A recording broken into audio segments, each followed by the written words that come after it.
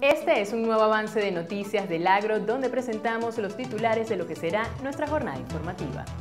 Venezuela toma medidas ante brote de aftosa en Colombia.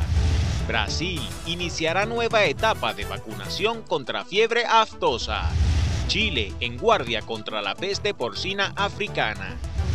TMEC, acrónimo en español del nuevo tratado comercial entre Canadá, Estados Unidos y México.